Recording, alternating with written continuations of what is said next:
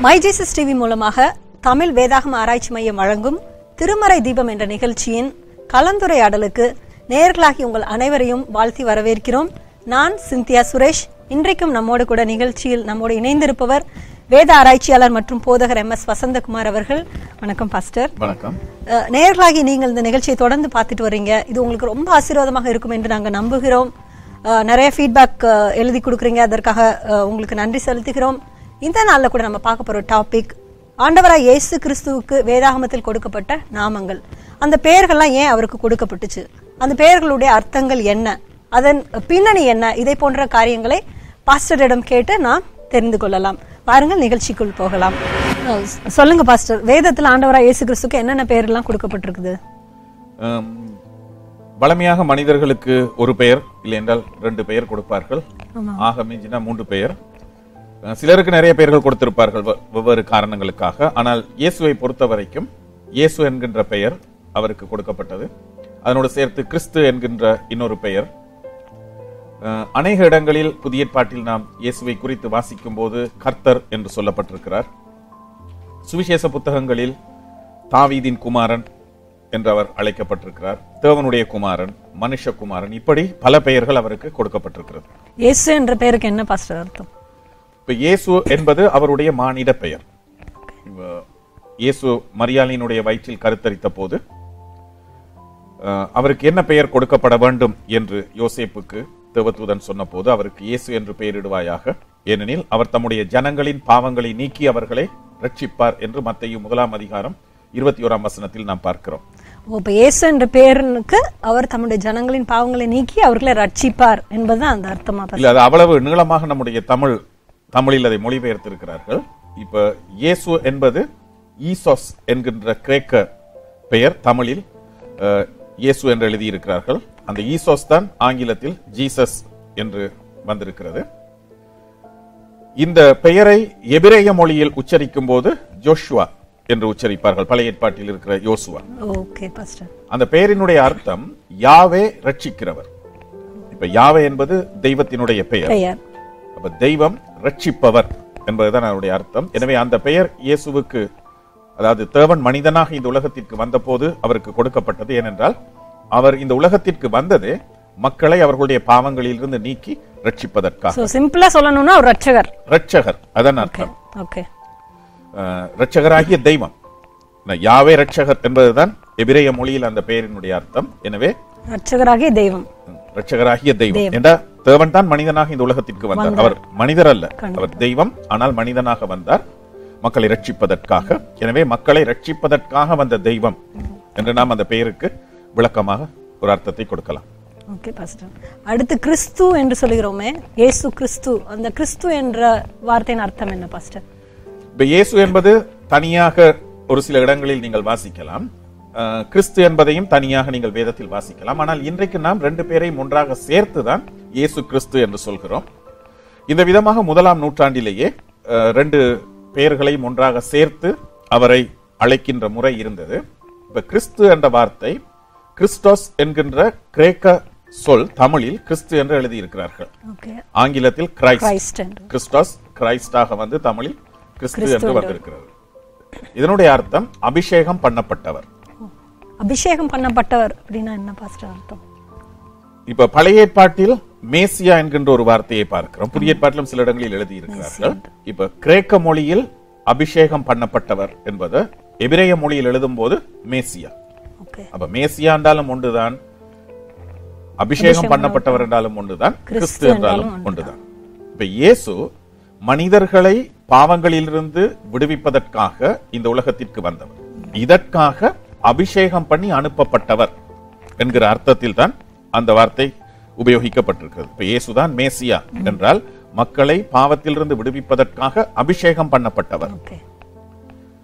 எனவே இந்த கிறிஸ்து என்கின்ற வார்த்தை ஒரு பெயராக அல்ல அவருடைய ஒரு உத்தியோக பட்டமாக இருக்கிறது ஒபிஷியல் டைட்டில் பழைய ஏற்பாட்டுல வந்து அநேகர் வந்து ஒரு சில பர்டிகுலர் காரியங்களுக்காக அபிஷேகம் பண்ணப்பட்டார்கள். இப்ப ராஜாக்கள் அபிஷேகம் பண்ணப்பட்டார்கள் தீர்க்கு தரிசிகள் அபிஷேகம் பண்ணப்பட்டார்கள் ஆசாரியர்கள் அபிஷேகம் பண்ணப்பட்டார்கள்.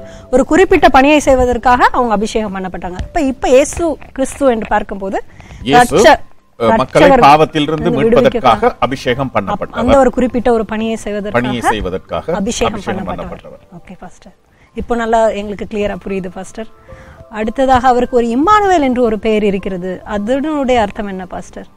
இப்ப இம்மானுவேல் என்கிற பெயர் இருக்கிறது என்று நீங்கள் சொன்னாலும் அந்த பெயரால் அவர் அழைக்கப்பட்டார் என்று நாம் புதிய ஏற்பாட்டில் வாசிப்பதில்லை. ஆனால் ஏசாயா ஏழாம் அதிகாரம் பதினான்காம் வசனத்தில் ஒரு கன்னிகை கற்பவதியாகிய ஒரு குமாரனை பெறுவாள். அவருக்கு இமானுவேல் என்று பெயரிடுவாயாக என்று சொல்லப்பட்டிருக்கிறது. இமானுவேல் என்றால் தேவன் நம்மோடு இருக்கிறார் என்ற அர்த்தம். இந்த தீர்க்க தரிசனம் அதிக சர்ச்சைக்குரிய ஒரு தீர்க்க தரிசனம் ஏன் பாஸ்டர் அதுல என்ன அதுல ஒன்றும் அப்படி சர்ச்சை இருக்கிற மாதிரி தெரியலையே பாஸ்டர் இப்ப மேலோட்டமாக நாம் வேதத்தை வாசிக்கும் போது அந்த விதமான சர்ச்சை இருப்பதாக நமக்கு. தெரியாது. இப்ப ஏசாயா யாரிடம் அந்த தீர்க்க தரிசனத்தை சொல்கிறார்?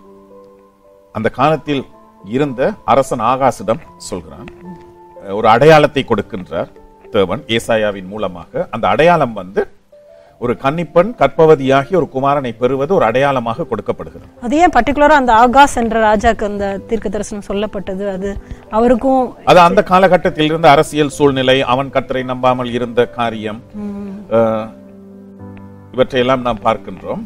அங்க கன்னிகை என்கின்ற வார்த்தை அந்த வார்த்தை தான் மிகவும் சர்ச்சைக்குரிய ஒரு வார்த்தை ஏனென்று சொன்னால் இன்றைக்கு ஆராய்ச்சியாளர்கள் சொல்வார்கள் அந்த வார்த்தையை கன்னிப்பெண் என்று மொழிபெயர்க்க முடியுமா? என்ற ஒரு சர்ச்சை உருவாகி அது முடியாது அப்படி அதை மொழிபெயர்க்க இயலாது. இளம்பெண் என்றுதான் மொழிபெயர்க்க வேண்டும் என்- என்றெல்லாம் அங்கு சொல்லப்பட்டிருக்கிறது. கன்னிப்பெண் என்றாலே இளம்பெண் தானே பாஸ்டர் இல்ல இளம்பெண் ஆனால் கட்டாயம் கன்னிப்பெண்ணாகத்தான் அவள் இருக்க வேண்டும் என்றில்லை. இள வயதுடைய ஒரு பெண். ஆனால் மத்தையு அஹ், அந்த பகுதியை இயேசுவினுடைய பிறப்பில் நிறைவேறியதாக சுட்டிக்காட்டும் போது கன்னிப்பெண் என்று மாத்திரம் மொழிபெயர்க்கக்கூடிய கிரேக்க சொல்லை உபயோகித்திருக்கிறார். ஆனால் பழைய ஏற்பாட்டில் அந்த விதமான வார்த்தை அல்ல.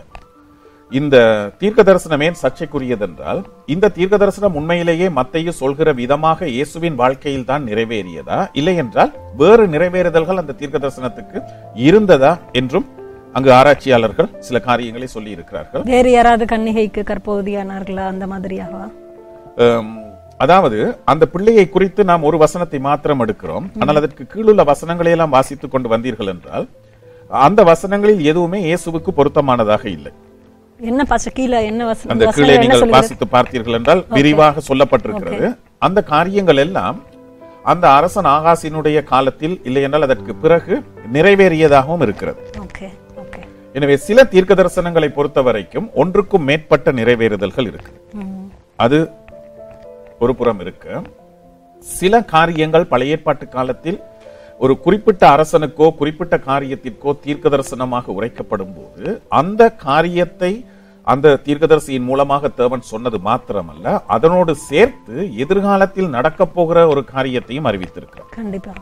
எனவே இந்த இடத்தில் ரெண்டு நிறைவேறுதல்கள் என்று சொல்லும்போது ஆகாஸ் ஆகாசுக்கு இந்த தீர்க்க தரிசனம் சொல்லப்பட்ட போது அந்த குறிப்பிட்ட பெண் கன்னி பெண்ணாக இருந்தாள். பிறகு அவள் திருமணம் முடித்து அவளுக்கு ஒரு குழந்தை பிறந்தது. அந்த குழந்தை ஆண்டவரால் ஒரு அடையாளமாக கொடுக்கப்பட்ட ஒரு குழந்தை. அடையாளமாக அந்த குழந்தை. கொடுக்கப்பட்டது. பிற்காலத்தில் மத்தையு பரிசுத்தாவியானவருடைய வழிநடத்துதலின்படி ஏவுதலின்படி அந்த தீர்க்க தரிசனத்தை அந்த தீர்க்க தரிசனின் ஒரு குறிப்பிட்ட பகுதியை மட்டும் எடுத்து இயேசுவுக்கு உபயோகித்திருக்கிறார். இயேசுவினுடைய வாழ்க்கையில் நிறைவேறியது என்பதை காண்பிப்பதற்காக உபயோகித்திருக்கிறார். இப்ப இமானுவேல் என்று சொல்லும்போது தேவன் நம்மோடு இருக்கின்றார். இயேசு என்று சொல்லும்போது சாதாரண மனிதர் அல்ல என்று நான் சொன்னேன். இப்ப தீமோத்தேயுவுக்கு பவுல் எழுதிய முதலாவது நிருபம் மூன்றாம் அதிகாரம் பதினாறாம் வசனத்தில் நாம் வாசிக்கிறோம். தேவன் மாம்சத்தில் வெளிப்பட்டார். பிறகு அந்த வார்த்தை மாம்சமாகி கிருபையினாலும் சத்தியத்தினாலும் நிறைந்தவராய் நமக்குள்ளே வாசம் பண்ணினார். எனவே அந்த வார்த்தை என்ன என்று யோவான் முதலாம் அதிகாரம் முதலாம் வசனத்தில் அந்த வார்த்தை தேவனாய் இருந்தது என்று சொல்லிவிட்டு தான் பதினான்காம் வசனத்தில் அந்த வார்த்தை கிருபையினாலும் சத்தியத்தினாலும் நிறைந்தவராய் நமக்குள்ளே வாசம் பண்ணினார். மனிதனாக மாறி அவர் தேவன். தேவன். எனவே தேவன் தான் மனிதனாக வந்தார். எனவே இம்மானுவேல் என்ற பெயர் பரலோகத்தில் இருந்த தேவன் நம் மத்தியில் இருக்கிறார். தேவன் நம்மோடு இருக்கிறார். அதான் இம்மானுவேல் என்ற பெயரினுடைய அர்த்தம். எனவே இயேசுவுக்கு அந்த பெயர் உபயோகிக்கப்படும் போது தேவன் நம் மத்தியில் இருக்கிறார். நம்மோடு இருக்கின்றார் என்பதை நாம் அறிந்து கொள்கிறோம். நல்லா எக்ஸ்பிளைன் பண்ணீங்க பாஸ்டர் அடுத்ததாக இயேசுவுக்கு கொடுக்கப்பட்ட பெயர் தேவகுமாரன் என்று பார்க்கிறோம் வேதத்துல. அந்த தேவகுமாரன் என்றால் என்ன பாஸ்டர் அர்த்தம்? தேவனுடைய குமாரன் என்று அர்த்தமா? அதை கொஞ்சம் எக்ஸ்பிளைன் பண்ணுங்க பாஸ்டர். இந்த பெயர் அதிக சர்ச்சைக்குரிய ஒரு பெயர். தேவகுமாரன் என்று தேவனுடைய குமாரன் என்று சொல்லும்போது பெரும்பாலானவர்கள் எப்படி அதை விளங்கிக் கொள்கிறார்கள் என்றால் இயேசு தேவனுக்கு பிறந்த ஒரு பிள்ளை என்ற அர்த்தத்தில் புரிந்து கொள்கிறார்கள். முதல் தடவையாக கிறிஸ்துவுக்கு பின் நான்காம் நூற்றாண்டு ஏரியஸ் என்கின்ற ஒரு மனிதர் சபையில் இருந்த ஒருவர் இயேசு சிருஷ்டிக்கப்பட்டவர். பிதாவை விட தாழ்வானவர். பிதாவை விட வேறான தன்மையுடையவர். நித்தியமற்றவர் என்றெல்லாம் போதித்தார். இயேசு கிறிஸ்துடைய தேவத்தன்மையை வந்து கீழ்ப்படுத்தும் முறைமையாக இதெல்லாம் இருக்குது இல்லையா இந்த வசனம் மாத்திரமல்ல இதை விட வேறு சில வசனங்களையும் அவர் உபயோகித்தார். ஆனால் இந்த வசனத்தில் அன்றைக்கு ஏரியஸ் என்னத்தை போதித்தாரோ அதைத்தான் இன்றைக்கு யெகோவாவின் சாட்சிகள் போதிக்கிறார்கள். இப்ப இயேசு சிருஷ்டிக்கப்பட்டவர். ஒரு ஆரம்பத்தை கொண்டவர். எனவே தேவனுடைய குமாரன் என்று சொல்லும்போது தேவனுக்கு பிறந்தவர் என்கின்ற அர்த்தத்தில் அதை வியாக்கியானம் பண்ணுகிறார்கள். இப்ப யெகோவா சாட்சியினர் மாத்திரமல்ல. அநேக சபைகளில் ஆவிக்குரிய சபைகளில் கூட பலரோடு நான் பேசும்போது அறிந்து கொண்ட விடயம் நிறைய பேர் இயேசு ஒரு ஆரம்பத்தை உடையவர் என்கின்ற நிலையில்தான் தேவனுடைய குமாரன் தேவனுக்கு பிறந்தவர். குமாரன் என்கின்ற அர்த்தத்தில் அதை புரிந்து கொள்கின்றார். ரொம்ப ஆச்சரியமா இருக்கு பாஸ்டர் தேவன் இயேசு தேவன். கண்டிப்பாக தேவன் தான் மனிதனாக வந்தார். அப்ப தேவனுடைய குமாரன் என்று அவரை எப்படி சொல்லலாம் என்பதை நாம் சரியான விதத்தில் புரிந்து கொள்ள வேண்டும். இரண்டு மூன்று விஷயங்களை நாம் அறிந்திருக்க வேண்டும். இப்ப வேதாகமம் எழுதப்பட்ட போது குறிப்பாக புதிய ஏற்பாடு கிரேக்க மொழியில் எழுதப்பட்டது. கிரேக்க மொழியில் இந்த குமாரன் என்பதற்கு ரெண்டு சொற்கள் இருக்கு வித்தியாசமான சொற்கள். ஒரு சொல் சரீரப்பிரகாரமாக ஒருவனுக்கு பிறந்த பிள்ளையை மட்டும் குறிக்கின்ற ஒரு வார்த்தை. இதுதான் நம்ம யூஸ்வலா எல்லாருமே யூஸ் பண்றது இல்லையா என்னுடைய பிள்ளை என்னுடைய குமாரன் எனக்கு பிறந்த பிள்ளை அப்படின்னு சொல்றது. இன்னொரு வார்த்தை இருக்கிறது. சரீரப்பிரகாரமாக ஒருவனுக்கு பிறக்காதவரையும் பிள்ளையாக குறிப்பிடுகின்ற ஒரு வார்த்தை. இப்படி ரெண்டு வார்த்தைகள் இருக்கு. பத்து எடுத்துக்கொள்வது. இல்ல இல்ல. இப்ப யாரையும் பார்த்து இப்ப பவுல் தீமோத்தேயுவை சொல்கிறார் என்னுடைய குமாரன் என்று தீத்துவை சொல்கிறார் என்னுடைய குமாரன். பவுலுக்கு பிறந்தவர்கள் அல்ல. இப்ப இயேசு கிறிஸ்து இயேசு கிறிஸ்து தான் தம்மை தேவனுடைய குமாரன் என்று அங்கு அறிமுகப்படுத்துகிறார். மற்றவர்களும் அந்த விதமாக உபயோகித்திருக்கிறார்கள். அந்த விதமாக இயேசுவை தேவனுடைய குமாரன் என்று அவர்கள் சொல்லும்போது சரீரப்பிரகாரமாக ஒருவருக்கு பிறக்கின்ற பிள்ளையை குறிக்கின்ற வார்த்தையை உபயோகிக்கலாம். என்ற சரீரப்பிரகாரமாக தேவனுக்கு பிறக்கவில்லை இயேசு பிறக்கவில்லை. இயேசுவும் நித்தியர். பிதாவைப் போலவே இயேசுவும் நித்தியர். நித்தியமானவர் எனவே இடையில் பிறந்தவர் அல்ல. எனவே ஒருவருக்கு சரீரப்பிரகாரமாக பிறக்காதவரையும் குறிக்கின்ற வார்த்தையை உபயோகித்திருக்கிறார்கள். அது மாத்திரமல்ல இந்த குமாரன் என்ற வார்த்தை நிறைய இடங்களில் லிட்டரலாக சொல்லர்த்தமாக மாத்திரமல்ல உருவகமாகவும் உபயோகிக்கப்படுவதுண்டு. அதாவது இப்ப வேதாகமத்தை பார்த்தீர்கள் என்றால் பர்ணபா ஆறுதலின் மகன் என்று சொல்லப்பட்டிருக்கிறான். அதனுடைய அர்த்தம் அவன் ஆறுதலுக்கு பிறந்தவன் என்பதல்ல. இயேசு இரண்டு சீடர்களை பார்த்து சொன்னார் இடி முழக்கத்தின் புத்திரர் என்று. இதுக்காக அவங்க இடிக்கு பிறந்தவர்கள் என்ற அர்த்தம். அர்த்தம் அல்ல பிறகு யூதாசை பார்த்து சொல்கிறார் கேட்டின் மகன். அதுக்காக கேட்டுக்கு பிறந்தவன் அல்ல இப்ப கேடு செய்கிற குணம் இருந்ததனால் அவன் கேட்டின் மகன். மற்றவர்களுக்கு ஆறுதல் அளிப்பவனாக இருந்ததனால் ஆறுதலின் மகன். அந்த குணத்தை வைத்து அந்த குணத்தை வைத்து அந்த பெயர் கொடுக்கப்பட்டிருக்கிறது. இதே விதமாகத்தான் இயேசு தேவனுடைய குமாரன் தேவ குமாரன் என்று சொல்லும்போது இயேசு தேவன் தேவ தன்மையுடையவர் என்கின்ற அர்த்தத்தில் தான் அந்த பெயர் கொடுக்கப்பட்டது தேவனுடைய குணாதிசயங்கள் அவருக்கு இருப்பதனால தான் அந்த பெயர் கொடுக்கப்பட்டிருக்குது அவர் தேவன். தேவன். தேவனுடைய குணாதிசயங்கள் என்று மட்டுமல்ல அவர் தேவன். அவர் தேவனாக இருப்பதனால அவர் தேவனுடைய குமாரன். குமாரன். இப்ப நாம் வேதத்தை வாசிக்கும் போது இந்த விதமாக அதை புரிந்து கொள்ள மாட்டோம். ஆனால் இயேசு இந்த வார்த்தைகளை சொல்லும்போது அவருடைய பிரசங்கத்தை கேட்டவர்கள் அந்த விதமாகத்தான் புரிந்து கொண்டார்கள். நான் ஒரு உதாரணத்தை காண்பிக்க விரும்புகிறேன் பாருங்க. யோவான் பத்தாம் அதிகாரத்தில் யூதர்கள் என்ன செய்கிறார்கள்? இயேசுவை கொள்ளுவதற்காக கல்லுகளை எடுக்கிறார்கள். அங்கு முப்பத்தி மூன்றாம் வசனத்தில் யோவான் பத்தாம் அதிகாரத்தில் சொல்லப்பட்டிருக்கிறது யூதர்கள் அவருக்கு பிரதியுத்தரமாக நற்கிரியை நிமித்தம் நாங்கள் உன்மேல் கல்லெறிகிறதில்லை. நீ மனுஷனாயிருக்க உன்னை தேவன் என்று சொல்லி இவ்விதமாக தேவ தூஷணம் சொல்லுகிறபடியினால் உன்மேல் கல்லெறிகிறோம் என்றார்கள். யூதர்களுக்கு அப்படி ஒரு வழக்கம் இருந்துச்சுல பாஸ்டர். தேவ தூஷணம் பண்ணாங்கன்னா உடனே அவங்களை கல்லெறிஞ்சு கொண்டுருவாங்க கல்லெறிந்து கொள்வார்கள். இப்ப அதற்கு முதல் வசனங்களில் கல்லெறிந்து கொல்ல முற்படுகிறார்கள். கல்களை எல்லாம் தூக்கி விட்டார்கள். அப்ப எதற்காக என் மீது கல்லெறிகிறீர்கள். எத்தனையோ நல்ல கிரியைகளை நான் செய்தேன் என்று இயேசு சொல்லும் போதுதான் இவர்கள் என்ன சொல்கிறார்கள்? நீ மனுஷனாக இருக்கிற ஆனா உன்னை நீ தேவன் என்று சொல்கிறாய். இது தேவ தூஷணம் இதனால கல்லெறிகிறோம் என்று. அவங்களால அதை வந்து அக்செப்ட் பண்ணிக்க முடியல. ஆனால் இயேசு எந்த ஒரு இடத்திலும் நேரடியாக தான் தேவன் என்று சொல்லல. ஆனால் அந்த மக்கள் இயேசு சொன்ன ஒரு காரியத்தை என்ன விதமாக புரிந்து கொண்டார்கள்? இவர் தம்மை தேவன் என்று சொல்கிறார் என்று புரிந்து கொண்டார்கள் புரிந்து கொள்ளுதல் அங்க வித்தியாசமா இருந்துச்சு. அப்ப இயேசு என்னத்தை சொன்னார்? அப்படியே கீழே வாசித்துக் கொண்டு வந்தீர்கள் என்றால் முப்பத்தி ஆறாம் வசனத்தில் நான் என்னை தேவனுடைய குமாரன் என்று சொன்னதினாலே தேவ தூஷணம் சொன்னாய் என்று நீங்கள் சொல்லலாமா? என்று கேட்கிறார்.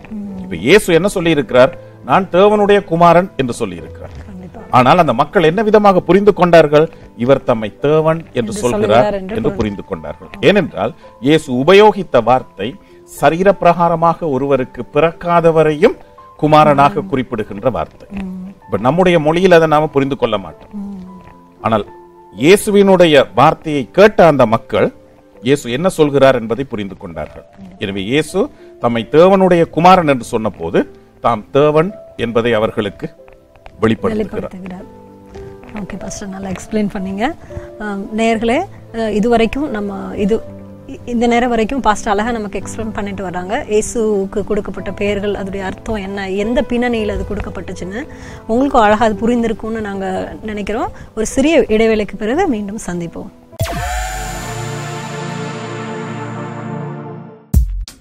You are watching My Jesus TV.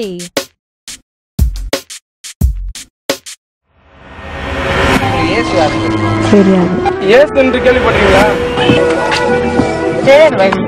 இயேசுனா யாருன்னு தெரியுமா? இயேசு என்று கேள்விப்பட்டீங்களா யாரும் சாப்பிட்டு கிடையாது.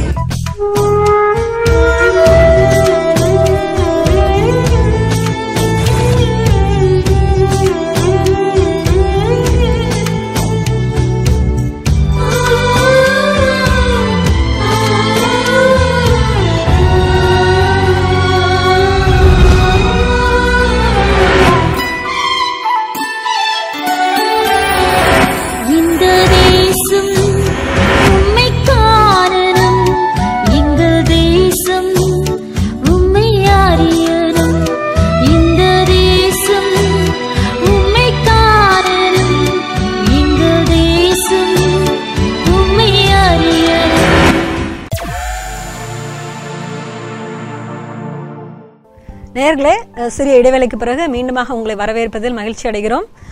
திருமறை தீபம் என்ற நிகழ்ச்சியில் பாஸ்டோட நம்ம பேசிக்கிட்டு வரோம். ஏசு இயேசு கிறிஸ்துக்கு கொடுக்கப்பட்ட நாமங்களுடைய விளக்கங்கள் என்ன என்று நம்ம பார்த்து வருகிறோம்.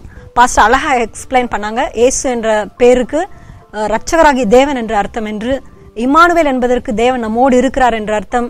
அந்த வார்த்தை மாம்சமாகி நம்மோட கூட வாசம் பண்ணினபடினால் அவர் இம்மானுவேல் என்று அழைக்கப்பட்டார். தேவகுமாரன் என்று அழைக்கப்பட்டார். அது தேவனுக்கு பிறந்த பிள்ளை என்ற அர்த்தம் கிடையாது. தேவத்தன்மையுடைய தேவன் என்ற அர்த்தம் கிறிஸ்து என்று அழைக்கப்பட்டார். அதாவது உலகத்தின் ரட்சிப்பை கொடுப்பதற்காக அபிஷேகம் பண்ணப்பட்டவர் என்று. இன்னும் அவருக்கு கொடுக்கப்பட்ட அநேக நாமங்களுடைய விளக்கத்தை பார்க்கலாம். வாங்க நிகழ்ச்சிக்குள்ள போகலாம். பாஸ்டர் சொல்லுங்க பாஸ்டர் அவருக்கு கொடுக்கப்பட்ட வேற நாமங்கள் என்ன? அதுடைய விளக்கத்தை சொல்ல முடியுமா? ஆம் வேறு நாமங்களை குறித்து சொல்வதற்கு முன்பு நான் ஒரு காரியத்தை சொல்ல விரும்புகிறேன். இப்ப தேவனுடைய குமாரன் என்ற பெயரினுடைய அர்த்தம் என்ன என்று பார்த்தோம் தேவ தன்மையுடையவர் இல்லை என்றால் அவர் தேவன் என்று. நாம் வேதத்தை வாசிக்கும் போது தமிழ் மொழிபெயர்ப்பில் நாம் வாசிக்கிறோம். வேதாகமம் தமிழில் எழுதப்படவில்லை. பழைய ஏற்பாடு எபிரேய மொழியிலும் புதிய ஏற்பாடு கிரேக்க மொழியிலும் எழுதப்பட்டது. எனவே ஒவ்வொரு வார்த்தையினுடைய இல்லையென்றால் இந்த விதமான வேத உபதேசத்தினுடைய அர்த்தத்தை நாம் புரிந்து கொள்வதற்கு மூல மொழியில் அதாவது வேதாகமம் எழுதப்பட்ட மொழியில் அந்த வார்த்தை என்ன அர்த்தம் உடையதாக இருந்தது என்பதை நாம் புரிந்து கொள்ள வேண்டும். இப்ப எல்லாராலையும் மூல மொழிக்கு போய் அதை படிச்சு புரிஞ்சுக்க முடியாது. அதை கற்றுக்கொண்டவங்க மட்டும்தானே பாஸ்டர் நமக்கு அதை எக்ஸ்பிளைன் பண்ண முடியும். இல்ல அதற்காகத்தான் வேதாகம கல்லூரிகள் இருக்கிறது. போதகர்கள் குறிப்பாக சபையை நடத்துகின்ற பாஸ்டர்மார்கள் வேதாகமத்தை முறைப்படி படிக்க வேண்டும் என்பதை நான் பல இடங்களில் வலியுறுத்தி நான் சொல்கிற காரியம் இதற்காகத்தான். ஏனென்றால் மூல மொழியில படிச்சா கரெக்டா அதோட அர்த்தத்தை நம்ம புரிந்து கொள்ளலாம். சரியான விதத்தில் அதனுடைய அர்த்தத்தை. நாம் புரிந்து கொள்ளலாம். இப்ப இந்த தமிழ் வேதாகமத்தில் இருக்கின்ற பல காரியங்களை கூட நாம் புரிந்து கொள்வதற்கு இந்த வேதாகமம் மொழிபெயர்க்கப்பட்ட போது இந்த தமிழ் வார்த்தைகளுக்கு என்ன அர்த்தம் இருந்தது என்பதை அந்த காலத்துக்கு போனாதான் புரிந்து கொள்ளலாமே தவிர இன்றைக்கு அந்த வார்த்தையினுடைய அர்த்தம் சில நேரங்களில் வித்தியாசமாக போய்விடலாம். அந்த காலத்துக்கு போனா அந்த கால தமிழ் வார்த்தைகள்லாம் ரொம்ப கடினமா இருந்திருக்கும்ல பாஸ்ட் ரொம்ப ஹார்டா இருக்கும்ல. ரொம்ப கடினமான வார்த்தை. அதனால தான் இந்த வேதம் கூட பலருக்கு புரியாமல் இருக்கிறது. இப்ப இன்றைக்கு புதிய மொழிபெயர்ப்புகள் செய்திருக்கிறார்கள். இன்றைய காலகட்டத்து தமிழில் வேதத்தை புரிந்து கொள்வதற்கு ஏற்ற விதமாக அவைகள் மொழிபெயர்க்கப்பட்டிருக்கிறது. எனவே புதிய மொழிபெயர்ப்புகளையும் நாம் வாசிக்க வேண்டியது அவசியமாக இருக்கிறது. அப்போதுதான் இந்த வேத வசனங்களினுடைய சரியான அர்த்தத்தை நம்மால் புரிந்து கொள்ளக்கூடியதாக இருக்கும். குறிப்பாக இந்த தேவனுடைய குமாரன் என்ற பெயரை நாம் என்ன விதமாக புரிந்து கொண்டோமோ இப்ப குமாரன் என்றுதான் எல்லா இடத்திலும் இருக்குது. இப்ப கிரேக்க மொழியில தான் நான் சொன்னேன் ரெண்டு விதமான வார்த்தைகளை உபயோகித்திருக்கிறார்கள். ரெண்டையும் ஒரே விதமாக மொழிபெயர்த்து விட்டார்கள். ஆனால் மூலமொழியில் பார்க்கும்போது வித்தியாசமான வார்த்தைகள் இருக்குது. நாம் பார்க்கின்றோம். ஓகே பாஸ்டர் அவருக்கு கொடுக்கப்பட்ட மனுஷகுமாரன் அப்படின்னு ஒரு நாமம் அவருக்கு கொடுக்கப்பட்டுச்சு. அந்த மனுஷகுமாரன் என்ற அந்த பெயருடைய விளக்கத்தை சொல்ல முடியுமா பாஸ்டர் இப்ப பாருங்க தேவனுடைய குமாரன் தேவ தன்மை உடையவர் என்று சொன்னதுனால சில நேரங்கள்ல நீங்க நினைக்கலாம் மனுஷ குமாரன்னா மனித தன்மை உடையவர். என்ற அர்த்தத்தில் அது சொல்லப்பட்டிருக்குன்னு நினைக்கலாம். அப்படி அல்ல. அதனுடைய பின்னணியை நாம் பார்க்க வேண்டும். இந்த மனுஷகுமாரன் என்கின்ற வார்த்தை இயேசுவினால் தமக்கு உபயோகிக்கப்பட்ட ஒரு பெயராக இருக்கிறது. அவர் தனக்குத்தானே உபயோகிச்சு தனக்கு தானே உபயோகித்துக் கொண்ட ஒரு இப்ப பழைய ஏற்பாட்டில் மனுஷகுமாரன் என்று சொல்லும்போது மனிதனுடைய குமாரன் என்ற அர்த்தத்திலும் சில இடங்களில் சொல்லப்பட்டிருக்கிறது. மனு புத்திரனே என்று சொல்லும்போது நீ மனிதனுக்கு பிறந்தவனே. என்கின்ற அர்த்தத்தில் இருக்கிறது. ஆனால் இயேசு கிறிஸ்து மனுஷகுமாரன் என்கின்ற வார்த்தையை உபயோகிக்கும் போது தானியேல் ஏழாம் அதிகாரத்தில் இருந்து அந்த வார்த்தையை எடுத்திருக்கிறார். தானியேல் ஏழாம் அதிகாரத்தை பார்க்கும்போது கடைசி காலத்தில் மேசியாவாக வரப்போகிறவர் யார் என்பதை குறித்த தரிசனம் அங்கு கொடுக்கப்பட்டிருக்கிறது. அங்கு பிதாவாகிய தேவனும் இருக்கிறார் இயேசுவும் இருக்கிறார். பிதாவாகிய தேவன் நீண்ட ஆயுசுள்ளவர் என்று சொல்லப்பட்டிருக்கிறது. அவர் நித்தியமானவர் என்கின்ற. அர்த்தத்தில். அவருக்கு பக்கத்தில் மனுஷகுமாரனுடைய சாயலுக்கு ஒப்பானவர் ஒருவர் கொண்டு வரப்பட்டார் என்று இருக்கிறது. அவர் மேசியா. மேசியா. அப்ப மேசியாவாக இந்த உலகத்திற்கு வந்தது இயேசு கிறிஸ்து எனவே மனுஷகுமாரன் என்ற பெயரை இயேசு உபயோகிக்கும் போது தாம் மேசியா என்பதை அந்த மக்களுக்கு சொல்கின்றார். இதை எல்லாரும் புரிந்து கொண்டிருக்க மாட்டார்கள். அந்த தீர்க்க தரிசனத்தை அடிப்படையாக கொண்டு இயேசுவினுடைய பிரசங்கத்தை கேட்டவர்கள் அதை புரிந்து கொண்டிருப்பார்கள். அப்ப தானியல்ல சொல்லப்பட்டிருக்கிறது வந்து பிதாவானவர் பக்கத்துல கொண்டு வரப்பட்டவர் மனுஷகுமாரனாகிய மேசியா. மேசியா. இப்ப இயேசு ஏன் இந்த விதமாக இந்த பெயரை உபயோகித்தார் என்றால் இயேசு இந்த உலகத்தில் வாழ்ந்த காலகட்டத்தில் பாலஸ்தீன் அதாவது இயேசு வாழ்ந்த பிரதேசம் ரோமர்களினுடைய ஆளுகைக்கு உட்பட்டதாக இருந்தது. அந்த கால மக்கள் ஒரு மேசியாவை எதிர்பார்த்து கொண்டிருந்தார்கள். அதாவது தேவனால் அபிஷேகம் பண்ணி அனுப்பப்படுகிற ஒரு இரட்சகரை எதிர்பார்த்து கொண்டிருந்தார்கள்.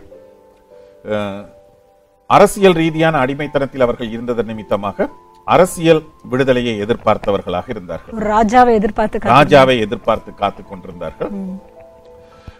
இயேசு பிறப்பதற்கு முற்பட்ட காலத்தில் கூட ஒரு சிலர் தாங்கள் தான் மேசியா என்று சொல்லி போலியான அற்புதங்களை எல்லாம் செய்து மக்களை தங்கள் பக்கமாக திசை திருப்பி ரோம அரசாங்கத்துக்கு எதிராக புரட்சி செய்தார்கள். அவங்க மக்களை தங்கள் பக்கமா திசை திருப்புவதனுடைய நோக்கம் என்னவா இருந்துச்சு பாஸ்டர்?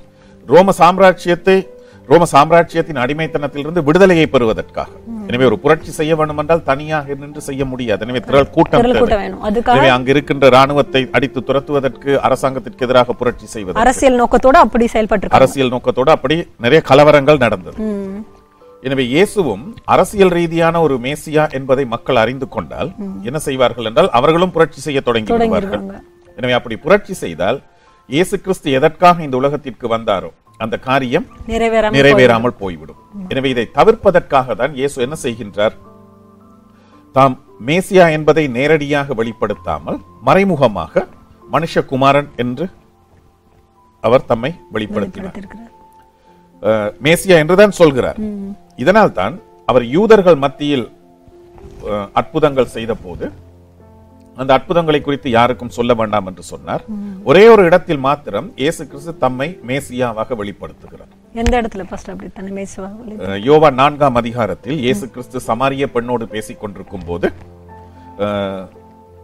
ஒரு தீர்க்கதரிசி மேசியா எனப்படுகிற தீர்க்கதரிசி வருவார் என்பதை நான் அறிவேன். அவர் வரும்போது இதை எல்லாவற்றையும் சொல்லுவார் என்று சமாரிய பெண் சொன்னபோது நான் தான் அவர் என்று சொல்லிடுறார். அழகா சமாரிய பெண்ணுக்கு அழகா தன்னை வெளிப்படுத்துகிறார்.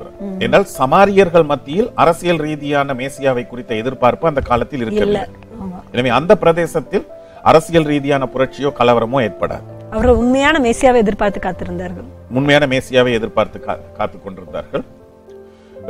அவர்களுடைய எதிர்பார்ப்பு கொஞ்சம் வித்தியாசமாக இருந்தது. ஏனென்றால் அந்த காலத்தில் யூதர்களுக்கும் சமாரியர்களுக்கும் இடையே சண்டை சச்சரவுகள் இருந்தது. சமாரியர்கள் கெரிசி மலையில் ஒரு ஆலயத்தை கட்டி வழிபட்டு வந்தார்கள். யூதர்கள் எர்சலேமில் வழிபட்டார்கள். எனவே எங்கு தேவனை வழிபடுவது தேவனால் ஏற்றுக்கொள்ளப்படும் என்கின்ற சர்ச்சை இருந்தது. யூதர்களா இல்லை என்றால் சமாரியர்களா மேலானவர்கள் என்ற சர்ச்சை இருந்தது. இதை எல்லாவற்றையும் மேசியா வந்து தீர்ப்பார் என்கின்ற ஒரு நம்பிக்கை இருந்தது. உண்மையாக யூதர்களுக்கு தான் அதிகமான சத்தியம் வெளிப்படுத்தப்பட்டுச்சு. ஆனா சமாரியர்கள் தான் உண்மையான மேசியாவை எதிர்பார்த்து காத்துட்டு இருக்காங்க. இல்ல சமாரியர்கள் வந்து வேதத்தின் முதல் ஐந்து புத்தகத்தை மாத்திரம்தான் ஏற்றுக்கொண்டிருந்தார்கள். அவர்களுடைய எதிர்பார்ப்பு வித்தியாசமாக இருந்தது வழிபாடு பிழையானதாக இருந்தது. அதனால்தான் சமாரிய பெண்ணுக்கு சொல்கிறார் நீங்கள் அறியாததை தொழுது கொள்கிறீர்கள். மூலமொழியில் அது எப்படி இருக்குன்னா நீங்க என்ன செய்றீங்கன்னு உங்களுக்கே தெரியல. உங்களுடைய வழிபாடு பிழையானது. ஏனென்றால் எருசலேம் தான் மக்கள் தேவனை வழிபடுவதற்காக தேவனால் தெரிவு செய்யப்பட்ட இடம். அங்கு சாலமோன் கட்டிய ஆலயத்தில் தான் கர்த்தருடைய மகிமை வந்து வாசமாக இருந்தது. ஆனால் சமாரியர்கள் வேதாகமத்தின் முதல் ஐந்து புத்தகங்களை மாத்திரம் ஏற்றுக்கொண்டிருந்ததனால் அதற்கு பிறகு கொடுக்கப்பட்ட வெளிப்படுத்தல்கள் எதையும் அவர்கள் அறிந்திருக்கவில்லை. ஆனா அப்படி பார்த்தா ஃபர்ஸ்ட் ஃபர்ஸ்ட் ஃபைவ் புக்ஸ்ல மேசியாவை குறித்து எந்த ஒரு காரியமே வெளிப்படுத்தப்படல இல்லையா? மேசியான்ற பேரும் வரல. மேசியா என்ற பெயர் இல்லை. ஆனால் மோசே உபாகம புத்தகத்தில் மோசையின் மூலமாக அங்கு ஒரு தீர்க்கதரிசனம் சொல்லப்பட்டிருக்கிறது. அஹ், உன்- உன்னை போன்ற ஒரு தீர்க்கதரிசியை நான் எழுப்புவேன் என்று. எனவே அந்த தீர்க்கதரிசி தான் வர இருக்கின்ற மேசியா என்கின்ற நம்பிக்கை. நம்பிக்கையில் அவர்கள் இருந்தார்கள். இப்ப சமாரியர்கள் மத்தியில் இயேசு கிறிஸ்து தம்மை மேசியாவாக வெளிப்படுத்தினாலும் யூதர்கள் மத்தியில் அவர் தம்மை வெளிப்படுத்தவில்லை. அதற்கு பதிலாக மனுஷகுமாரன் என்கின்ற பெயரை உபயோகித்தார். அஹ் அழகா எக்ஸ்பிளைன் பண்ணீங்க ஃபர்ஸ்ட் தேங்க்யூ அடுத்ததாக இயேசு கிறிஸ்து தன்னை தனக்கு தாவீதின் குமாரன் என்ற ஒரு பெயர் கூட அவருக்கு இருக்குல்ல பாஸ்டர் அந்த தாவீதின் குமாரன் என்றால் என்ன அர்த்தம்? இப்ப இங்கும் தேவனுடைய குமாரன் என்று சொன்னபோது தேவனுக்கு பிறந்தவர் அல்ல. தாவீதின் குமாரன் என்று சொல்லும் போதும் தாவீதுக்கு பிறந்தவர் அல்ல. அல்ல. ஆனால் மத்தையுனுடைய சுவிசேஷம் ஆரம்பமாகும் போது தாவீதின் குமாரன் என்று சொல்லப்பட்டிருக்கிறது. மத்தையுடைய சுவிசேஷத்துல தான் பலர் இயேசுவை தாவீதின் குமாரன் என்று அழைக்கின்றார்கள். அந்த காலத்தில் தாவீதினுடைய வம்சத்தில் வந்தவர்கள் அந்த விதமாக அழைக்கப்பட்டார்கள். எனவே இயேசு கிறிஸ்து தாவீதின் வம்சத்தில் வந்தவர் தாவீதினுடைய அரியணைக்கு உரியவர் தாவீது வந்து ஒரு மிக முக்கியமான ஒரு ராஜாவாக அந்த காலத்துல இருந்தபடினாலே தாவீதின் வம்சத்துல வந்தவர் என்று. முக்கியமான ராஜா என்று சொல்வதை விட யூத ஜனங்களினுடைய வம்ச வரலாற்றில் அவர்களுடைய அந்த வரலாறு தாவீதினுடைய வம்ச வரலாறு தாவீதினுடைய அரச வம்சமாக இருந்தது. இப்ப யூத ஜனங்களை ஆளுகை செய்கிறவர் எந்த வம்சத்தை சேர்ந்தவர் என்று சொல்லும்போது தாவீதின் வம்சத்தை சேர்ந்தவர். எனவே இயேசு கிறிஸ்து அந்த வம்சத்தில் வந்தவர் யூதர்களை ஆளுகை செய்ய அதிகாரம் உடையவர் என்கின்ற அர்த்தத்தில் அந்த விதமான பெயர் தாவீதின் குமாரன் என்று. மக்கள் அவரை அழைத்தார்கள்.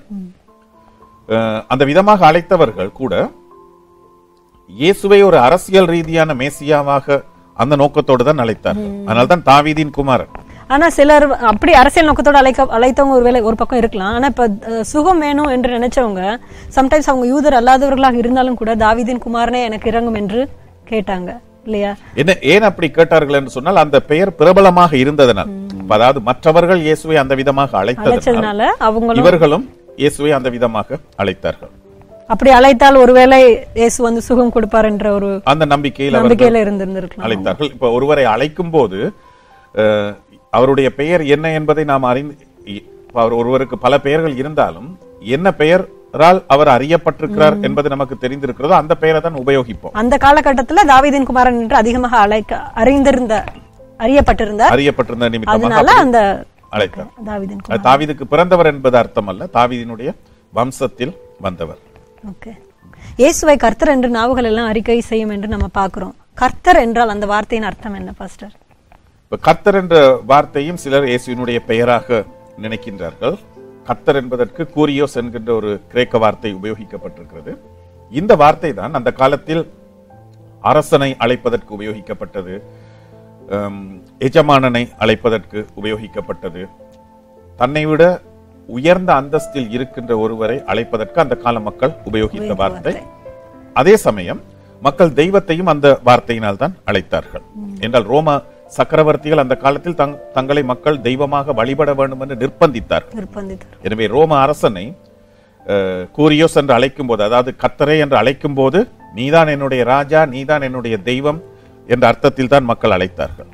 எனவே புதிய ஏற்பாட்டு ஆசிரியர்கள் இயேசுவை கர்த்தர் என்று அழைத்தார்கள். அவர் ஒரு ராஜா அவர் ஒரு தெய்வம் அவர் உயர்ந்த நிலைமையில் இருக்கிறார் என்பதை காட்டுவதற்காக கர்த்தர் என்று பெயரை அவர்கள் உபயோகித்தார். எனவே கிறிஸ்து என்பது எப்படி இயேசுவினுடைய உத்தியோக பட்டமாக இருக்கிறதோ அதே விதமாக தான் கர்த்தர் என்பதும் அவருடைய ஒரு பட்டமாக பட்டம் என்றே வைத்துக் உத்தியோக பட்டம் இல்லை என்றால் அவருடைய தன்மையை அவர் யார் என்பதை நமக்கு விளக்கி கூறுகின்ற ஒரு பெயராக பட்டமாக இருக்கிறது. அதாவது இயேசு என்ற பெயரில் சாதாரண மனிதனாக மற்றவர்களுடைய கண்களுக்கு தென்பட்டவர் மனிதர் அல்ல அவர் தெய்வம் அவர்தான் நம்மை ஆளுகை செய்கிற ராஜா என்பதை அறிக்கை இடுகின்ற விதத்தில் தான் ஆதி கிறிஸ்தவர்கள் இயேசுவை கர்த்தர் என்று அறிக்கையிட்டார்கள். இதனால தான் நாங்கள் சொல்லப்பட்டிருக்கிறது நாமுகள் யாவும் இயேசுவை கர்த்தர் என்று. அறிக்கையிட வேண்டும் என்று இயேசுதான் எங்களுடைய ராஜா இயேசுதான் எங்களுடைய தெய்வம் இயேசுதான் எல்லாமே.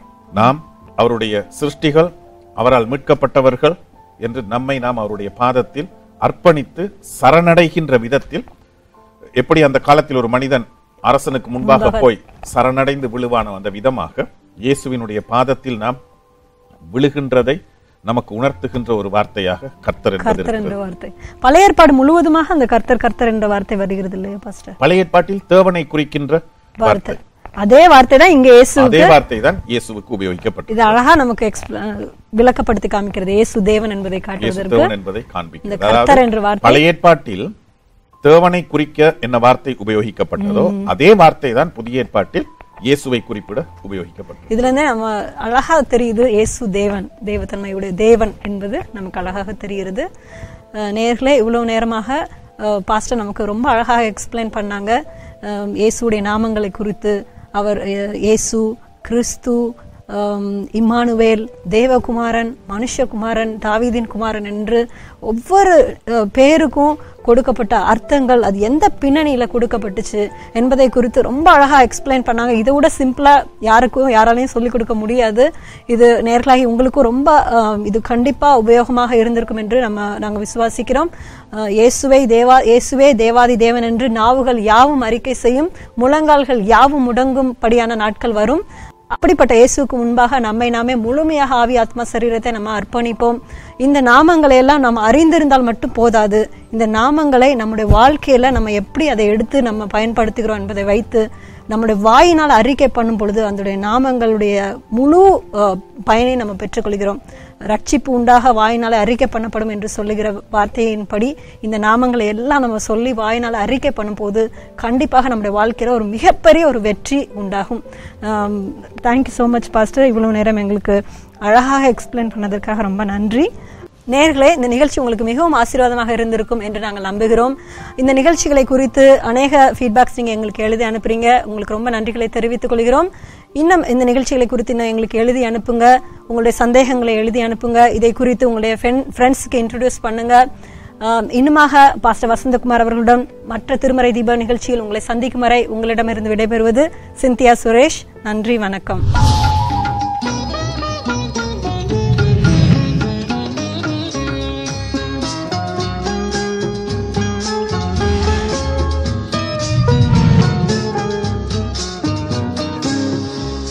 சத்திய வேதம் பக்தனின் கீதம் சுத்தர்கள் போகும் பாதையின் தீபம் உத்தம மார்க்கம் காட்டும்